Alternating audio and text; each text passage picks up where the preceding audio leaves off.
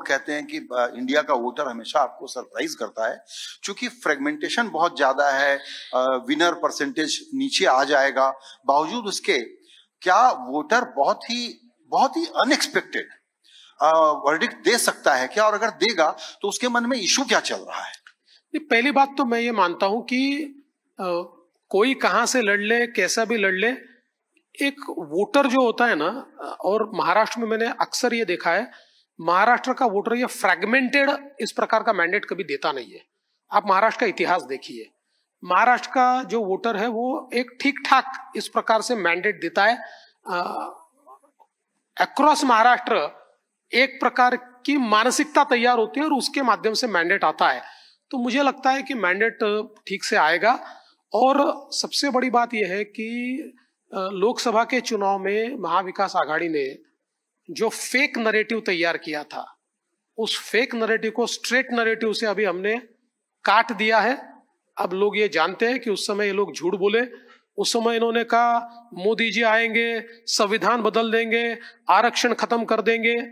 अब हो उल्टा रहा है अब उसके ऊपर लोगों ने राहुल गांधी को वोट दे दिया एमवीए को वोट दे दिया। अब राहुल गांधी विदेश में जाते हैं और कहते हैं कि आरक्षण की आवश्यकता समाप्त हो रही है, हम आरक्षण समाप्त कर देंगे। उसके ऊपर आकर हमारे नाना पटोले जी उसका समर्थन करते हैं। तो अब ये लोगों के सामने इनका चेहरा, देखिए, आपको याद होगा, आपने मेरा एक इंटरव्यू किया था, मैंने उसमें कहा था कि झूठ, ये ज़्यादा समय चलता नहीं है, झूठ की उम्र छोटी होती है, इनका झूठ मर चुका है, अब हमारा सच सामने आ रहा है और हम चुनकर आएँगे। बिल्कुल। आ, आपने एक बहुत ही महत्वपूर्ण बात की तरफ़ इशारा किया है वो मैं समझना चाहूँगा। और ये मैं चर्चाएँ सुन रहा हूँ जब हम लोगों के पास कुछ कहने को नहीं होता तो हम कहते हैं कि वेव है अंडर करंट है अच्छा इस बार का चुनाव रीजनल हो गया है फिर कहते हैं कि नहीं हर कंस्टिट्युएंसी का चुनाव अलग है तो मैं आर्गूमेंट ये भी स्ट्रेच कर सकता हूँ कि हर बूथ का अलग है लेकिन मराठा वोट जिस तरीके से बट रहे हैं ओबीसी वोट जिस तरीके से बट रहे हैं मान लीजिए इक्वल है बिल्कुल डिस्टिल करें। आपकी बात से पकड़ रहा हूँ। स्विंग फैक्टर एक ही है। आपने संविधान की चर्चा की। वो है दलित वोटर। दलित डिसाइड करेगा महाराष्ट्र का वर्डिक्ट कि कौन जीत रहा है। देखिए, मैं ऐसा मानता हूँ कि निश्चित रूप से दलित वोटर एक बहुत महत्वपूर्ण वोटर है।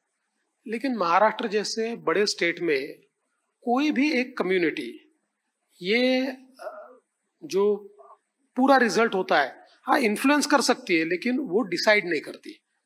अलग अलग कम्युनिटी से बना हुआ है और जहाँ तक दलित वोटर का सवाल है तो मैं ये कहना चाहता हूँ कि फेक नरेटिव के कारण ये बात सही है कि दलित वोटर लोकसभा में हमसे दूर गया था अब वो हमारे साथ आ चुका है। क्यों?